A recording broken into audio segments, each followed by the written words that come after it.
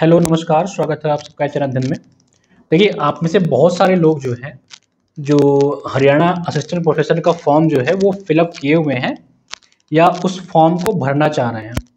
बहुत सारे बच्चों का डाउट था कुछ कि मैं यूआर में अकाउंट होऊँगा या किसमें अकाउंट होऊँगा। तो मैं आपको बता दूँ अगर आप, आप किसी और स्टेट से हैं मान लीजिए आप उत्तर प्रदेश से पश्चिम बंगाल से उड़ीसा से अगर कहीं से भी भर रहे हैं तो आप यू आर में काउंट होंगे। ये ऑब्वियस सी बात है, इसमें इतना क्वेश्चन इतना डाउट होने वाली बात नहीं होती है। ये हमेशा से नियम रहा है, ठीक है? तो कुछ लोग जो कॉल कर रहे थे, मैं उनके उत्तर का जवाब इस वीडियो में दे देता हूँ। इस वीडियो में हम जो फोकस करेंगे, वो वो हमारा जो मेन फोकस है, वो है कि उत्तर लेखन। क्योंकि आप सबका जो डाउट है, वो ये है कि इस परीक्षा में जो मेंस का एग्ज़ाम होगा स्क्रीनिंग के बाद लिखित परीक्षा जो होगी, उसमें जो एग्ज़ाम होगा, वो डिस्क्रिप्टिव टाइप का होगा, जैसे यूपीएससी या पीसीएस का मेंस होता है उस टाइप का। अब सबसे बड़ा कन्फ्यूज़न ये है कि बच्चों की जो डाउट है, वो है कि उत्तर लेखन कब से करें? मैंने कुछ क्वेश्चन नोट किए हैं, जो बच्चे मुझसे कॉल पे पूछते हैं मैसेज पूछते हैं, कि कब से उत्तर लेखन करें, कहाँ से करें? रिसोर्सेज क्या होंगे? नोट्स कैसे बनाएँ? कहाँ का नोट्स बाई करें? और कौन सा बैच ज्वाइन करें? कौन से किताबें पढ़ें? देखिए अंतिमा मैम ने आप लोग को किताबों के बारे में बता रखा है तो इस वीडियो में हम किताबों के बारे में डिस्कस नहीं करेंगे, हम बारी बारी से आपका उत्तर लेखन पे बात करते हैं। तो पहला प्रश्न है कि कब से करें? देखिए, सबसे पहले मैं आपको बता दूँ कि हम H P S C assistant professor का एक बहुत ही बढ़िया डेडिकेटेड बैच हमारे यहाँ चलाया जा रहा है, और उसकी जो फ़ीस है ना, वो सिर्फ़ तीन सौ निन्यानवे रुपये से शुरू होती है। तो इतने कम फ़ीस में अगर आप उस बैच को ज्वाइन करेंगे तो आपको तो पहली बात कहीं से टेंशन लेने की ज़रूरत ही नहीं पड़ेगी, क्योंकि उस बैच में हम आपको पढ़ाएँगे, टेस्ट पेपर देंगे, नोट्स देंगे मतलब लगभग कंप्लीट पैकेज है वो बैच, अगर उस बैच को आप ज्वाइन करते हैं। फिर भी जिन्होंने उस बैच को ज्वाइन नहीं किया है, उन सब के लिए भी मैं कुछ पॉइंट्स यहाँ पे बताना चाहता हूँ, ठीक है? तो सबसे पहले है कि कब से उत्तर लेखन करें। इसका जो एकदम वन लाइनर जवाब है, वो है कि आज से, अभी से, कल से, जब से आपको टाइम मिले, उत्तर लेखन करिए। देखिए, उत्तर लेखन के चक्कर में बहुत सारे बच्चे जो है ना डिस्क्रिप्टिव के चक्कर में इस फॉर्म को भर नहीं रहे बहुत सारे बच्चे कॉल कर रहे हैं कि, सर, मैं भरूं या ना भरूं? बहुत सारी महिलाएँ हैं जो लड़कियाँ कॉल कर रही हैं, जो यूपी का असिस्टेंट प्रोफेसर जिनको देना है, सर, ये भरे या ना भरे डिस्क्रिप्टिव है। देखिए, इस एग्ज़ाम में ना यकीन मानिए कंपटीशन जो है ना, वो आधा है।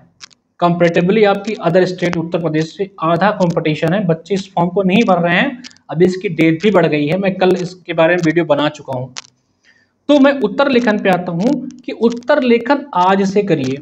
प्रतिदिन एक से दो प्रश्नों का उत्तर लेखन करिए। कहाँ से करना है? अगर इसकी बात करें तो आपको उत्तर लेखन जो है ना, इस किताब से करना है। ये किताब आप देख लीजिए।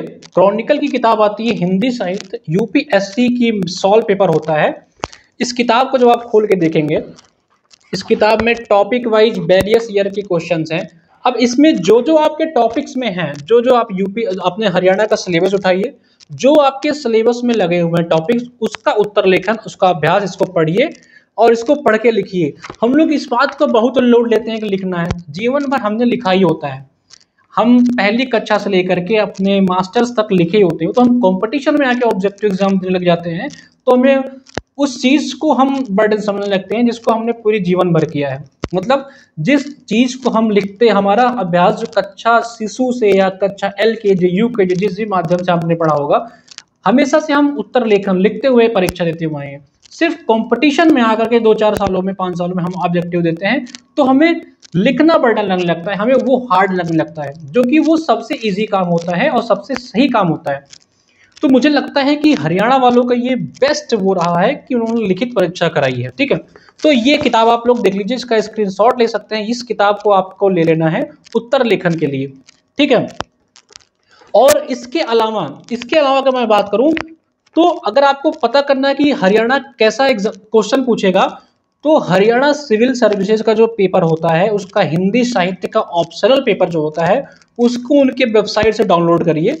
नहीं तो हमारे एप्लीकेशन में भी कुछ पेपर उनके दिए गए हैं, आप जाके वहाँ से भी डाउनलोड कर सकते हैं। ठीक है? तो हरियाणा का एचपीएससी जो स्टेट कराता है, उसका ऑप्शनल हिंदी साहित्य का, उसको आप डाउनलोड कर लीजिए। उसको डाउनलोड करने के बाद उनके आपके पेपर का पैटर्न लग जाए, आइडिया लग जाएगा कि कैसे सवाल पूछेंगे। ठीक, ये दो बातें हो गई, कब से करें, मैंने बता दिया कि अभी से स्टार्ट करिए एक दो क्वेश्चन कहाँ से करें, मैंने ये भी बता दिया, दो रिसोर्सेस हैं, इसके अलावा स्टेट पीसीएस का अगर आपको सॉल्व पेपर मिल जाए हिंदी का तो वो लगाइए, वो भी आपको मिल जाएगा यूथ का या किसी प्रकाशन का आपको मिल जाएगा। अब सबसे बात आदि कहाँ से पढ़ें, यानी कि देखिए, सबसे पहले अगर आप हमारे बैच में हैं एच एन अध्ययन के बैच में हैं H P S C Haryana complete batch जो हमारा संपूर्ण बैच चल रहा है, उस बैच में है तो आपको कहीं से भी टेंशन लेने की ज़रूरत नहीं। होती है हम लोग एक रुपये प्रतिदिन से भी कम में बच्चों को पढ़ाने का प्रयास कर रहे हैं। पूरी टीम लगी हुई है आपके लिए। बेस्ट से बेस्ट लोगों को हम लोग लगाने का प्रयास कर रहे हैं। और हम उन लोग को इनवाइट भी करना चाहेंगे जो हमारी इस मुहिम में शामिल होना चाहते हैं, जो बच्चों के लिए कुछ करना चाहते हैं हमारे साथ जुड़ के बच्चों के लिए कुछ कर सकते हैं। ठीक है? तो हमारा जो बैच है वो तीन सौ निन्यानवे से शुरू हो रहा है। पूरे यूट्यूब के इतिहास में, ऑफलाइन ऑनलाइन के इतिहास में प्रोफेसर का इतना सस्ता बैच आपको कहीं नहीं मिलेगा। तो अगर आप हमारे बैच में हैं तो आपको अलग से कुछ भी नहीं करना है। हम लोग पूरी क्लास आपको वहाँ पढ़ाई जा रही है, कंप्लीट नोट्स मिलेगा, फिर जब आपकी स्क्रीनिंग परीक्षा हो जाएगी ना तो आपको उत्तर लेखन का भी अभ्यास कराया जाएगा, जो बैच में जुड़े हुए हैं। फिर भी जो नहीं जुड़े हुए हैं, वो क्या करें? देखिए, वो दृष्टि आई की एक किताब आती है, एक नोट्स आता है आई थिंक इस नोट्स को आप लोग देख लीजिए। ये दृष्टि की नोट्स आती है। मार्केट में इसकी चार पाँच टाइप के हैं। आप इसको ले सकते हैं। यहाँ से आपके टॉपिक्स जो जो हैं, उस पर आप नोट्स बना सकते हैं, आप पढ़ सकते हैं। ठीक है? उसके अलावा क्या करना है? आपको अपना सिलेबस खोलना है और आपको अपने सिलेबस के according to the point notes बनाते हुए चलना है। मैं आपको दिखा देता हूँ। जैसे ये ये नोट्स है। ठीक है? इस नोट्स में आपको दिखा देता हूँ एक सेकंड देखिए, ये नोट्स है, इस नोट्स में जैसे राजभाषा दिया हुआ है आपका, ये राजभाषा है। तो राजभाषा से संबंधित कुछ अच्छे अच्छे पॉइंट्स चार, पाँच, दस, पंद्रह पॉइंट इसमें नोट कर ली गई हैं। ठीक है? ऐसे ही और भी टॉपिक्स हैं। लाइक जैसे हिंदी आलोचना समीक्षा जो है, उस पर भी कुछ पॉइंट्स नोट कर लिए, पहले कुछ कोटेशंस नोट कर लिए गए हैं, फिर कुछ पॉइंट्स हैं। तो इस तरह से आप अपने नोट्स बना सकते हैं और बाद में आप उसको एग्ज़ाम में आंसर राइटिंग के थ्रू कर सकते हैं। ठीक है? इस नोट्स को भी हम लोग अपने ग्रुप में प्रोवाइड करेंगे जो बच्चे क्वालिफाई करेंगे। तो ये छोटी छोटी सी बातें जो हैं, आप को मैंने बता दिया उत्तर लेखन कब से करें, कहाँ से करें नोट्स कहाँ से पढ़ें। ये कुछ पॉइंट्स थी जो आप लोग को बतानी थी। होप कि आपको ये वीडियो अच्छा लगेगा और आप, और उसके साथ भी शेयर करिए।